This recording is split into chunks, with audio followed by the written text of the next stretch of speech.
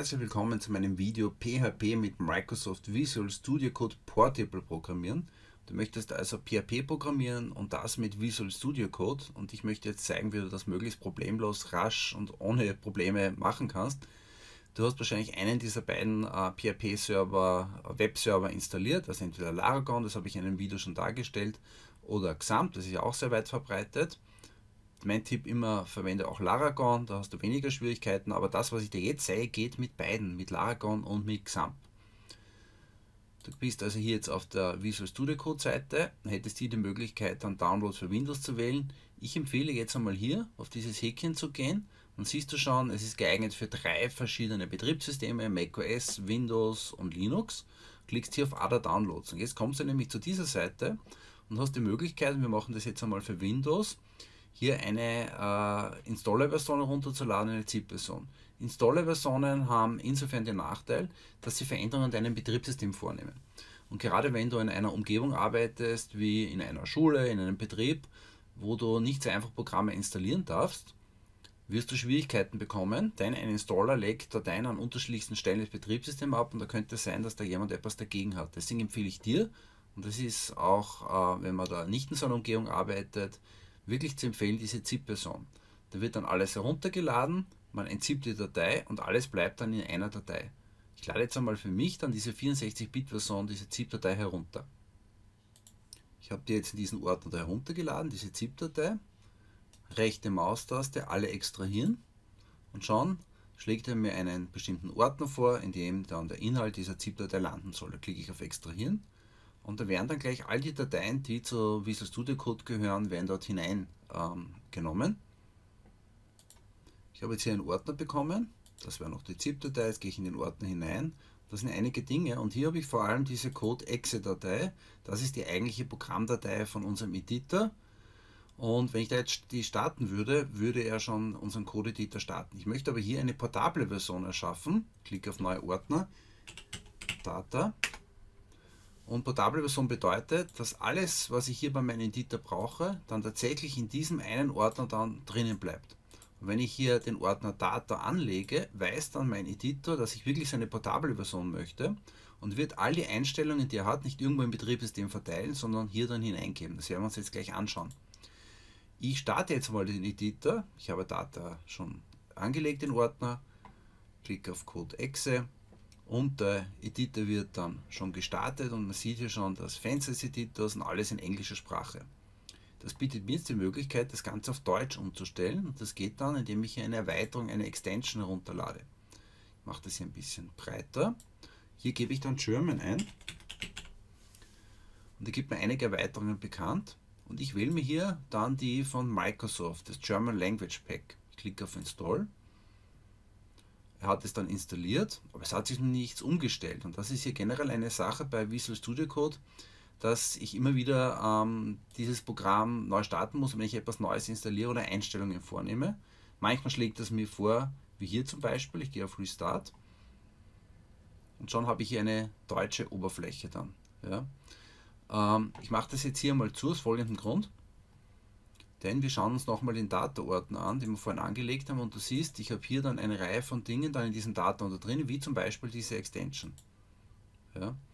Und diese Dateien, die ich hier bei Data drinnen habe, die hätte sonst an anderen Stellen des Betriebssystems hinterlegt und es hätte sein können, wenn es auf deinem Computer Probleme gibt, Einschränkungen gibt, dass dann die Installation nicht ordentlich äh, funktionieren würde.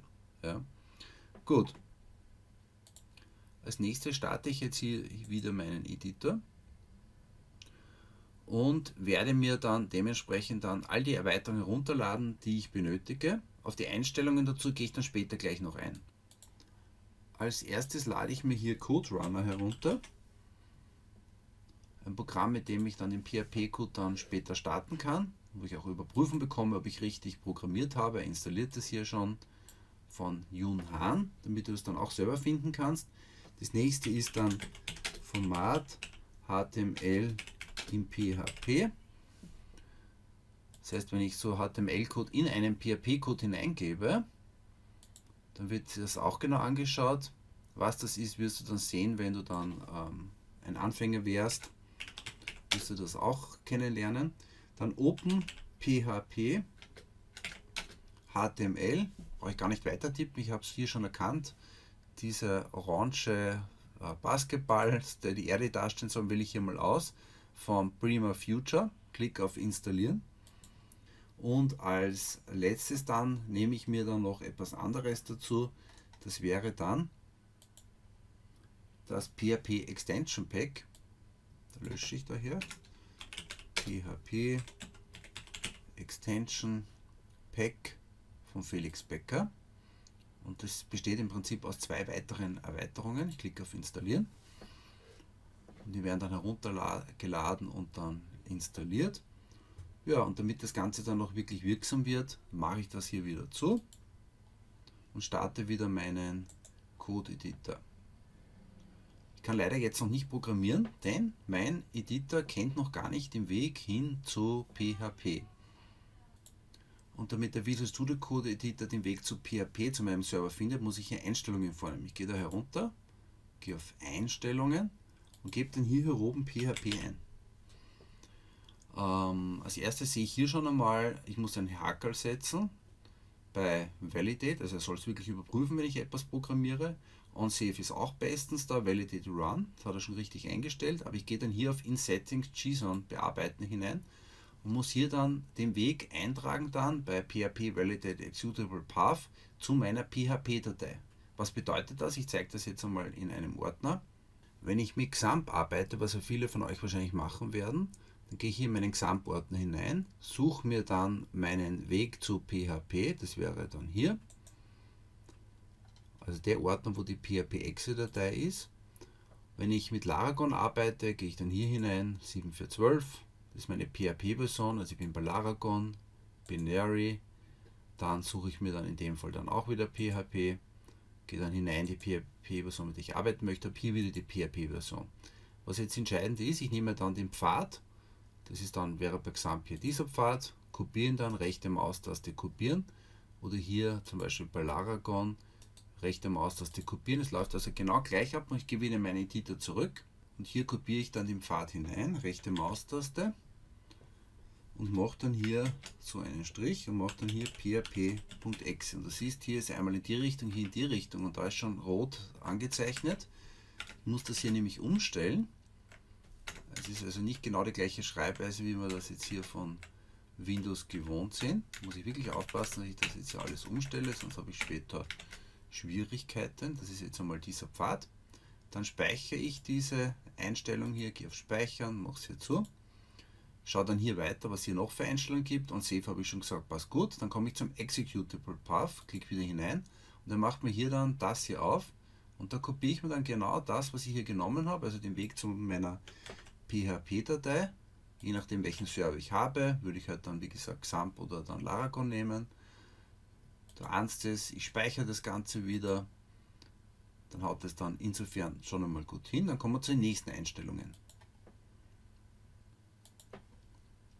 Lege ich mir die Einstellungen für die Erweiterung ein bisschen genau fest. Ich gehe auf Code Runner, gehe auf Erweiterungseinstellung und sehe dann hier Clear Previous Output. Da mache ich das Häkchen, denn wenn äh, äh Code Runner verwendet wird, dann zeigt er immer wieder alle Fehlermeldungen, die er gehabt hat, an. Das bringt mir dann insofern nichts, wenn ich ein neues Programm oder wenn ich das Programm verändert habe, dann möchte ich eigentlich wirklich nur das aktuelle angezeigt bekommen. Das passt insofern auch ganz gut. Und dann gehe ich hier hinein in die Executor Map, klicke nochmal mit der linken Maustaste drauf und bin dann hier in dieser Datei, wo es auch andere Einstellungen letztlich gibt. Und da sehe ich dann hier PHP und da steht nur PHP. Und da werde ich jetzt aber dann genau den Pfad, den ich da hier oben auch habe, den werde ich mir dann kopieren. Aufpassen, dass du wirklich nicht diese Anführungszeichen erwischt. Das ist mir schon mal passiert. Gehe dann hinein, lösche da PHP, habe die Anführungszeichen erhalten und dann, passt soweit, ich markiere mir das wieder. Ich kopiere es dann, rechte Maustaste kopieren oder Steuerungstaste C, gehe in die nächste Zeile und schreibe da vorne statt PHP HTML hin. Das soll man ja dann auch HTML-Dateien äh, dementsprechend dann auch gut ähm, bearbeiten. Als nächstes mache ich das dann hier einmal zu. Als nächstes gehe ich dann hier hin und schaue, ob ich dann hier Einstellungen vornehmen kann. Das funktioniert insofern einmal nicht. Deswegen gehe ich dann wieder hier, dann lässt er mich so nicht machen, gehe ich hier wieder auf Einstellungen, und gebe dann an und Save.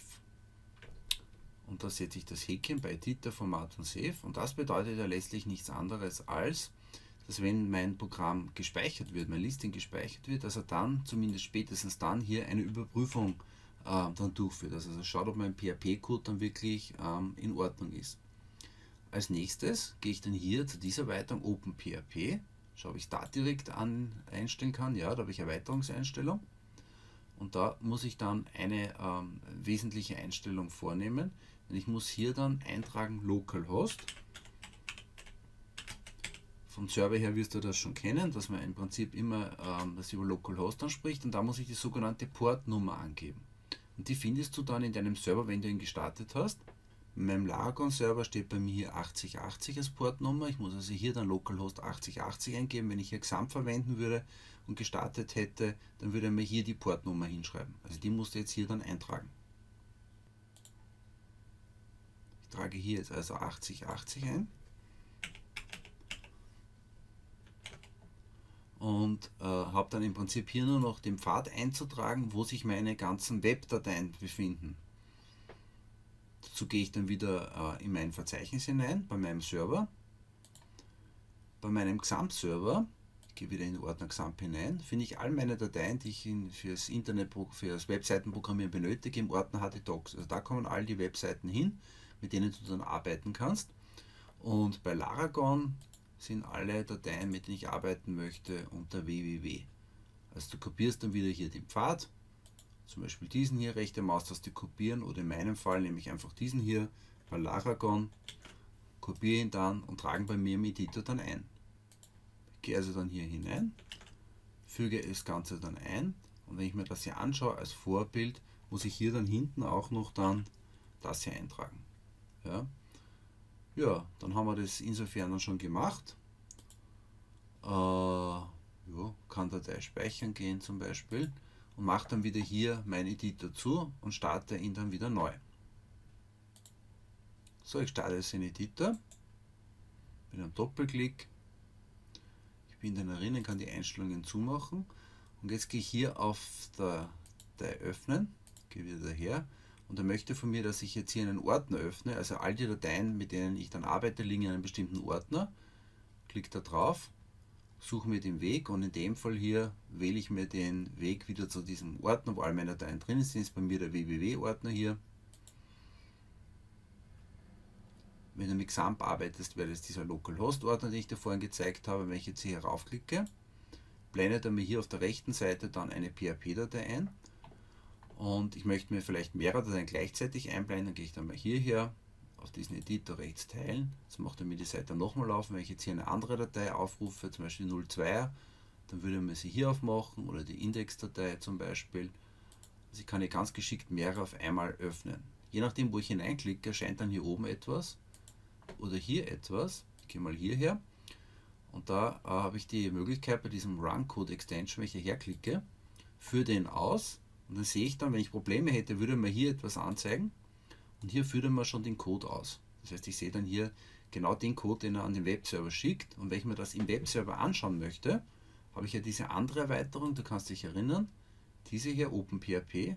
Ich klicke hier auf Open im Browser.